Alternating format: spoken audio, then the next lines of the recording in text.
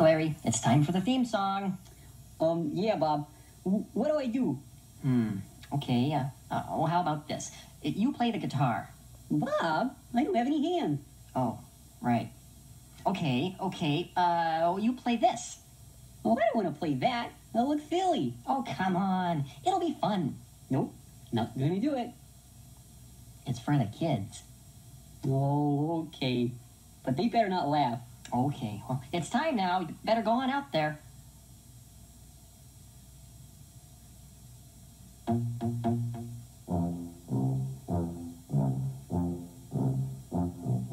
If you like to talk to tomatoes, if a squash can make you smile, if you like to waltz with potatoes, up and down the produce aisle, have we got a show for you?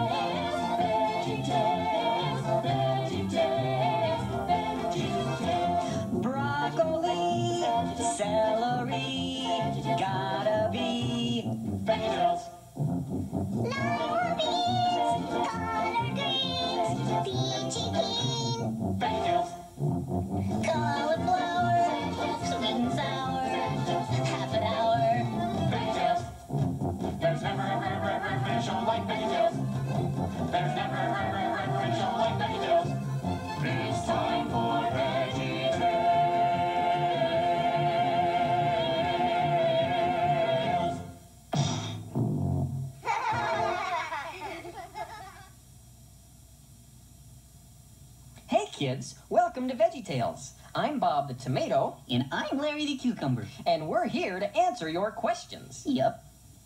Now, Larry, Yeah, Bob. The other day I was walking home from my bowling league when I bumped into Marco, one of our TV friends. Whoa, that that's great. Mm-hmm. But now Marco had a question for us.